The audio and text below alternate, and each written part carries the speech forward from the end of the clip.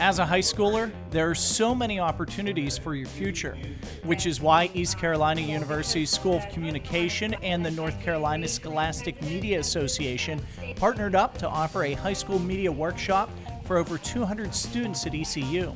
I thought it was a really good experience actually because you talk to people that have been in journalism for years. Experts from different fields in media presented various topics from social media to editorial cartoons to how to write a story. It's a real opportunity to get in there and talk to the kids about social media and how it's affecting journalism as we know it today. It should help a lot in my yearbook class. I learned a lot of story ideas that I could use and I also learned how to interview a person. We're supposed to be doing a commercial on like selling a yearbook, so it was very helpful to know that stuff. ECU senior Ashley Bowles took part in North Carolina Scholastic Media events back when she was in high school.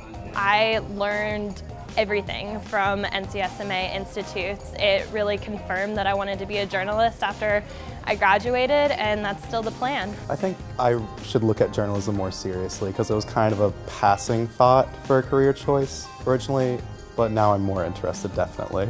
And hosting events like these at ECU is an opportunity to show future college students what the university has to offer. I feel like there's a lot more to do at ECU now that I've been here.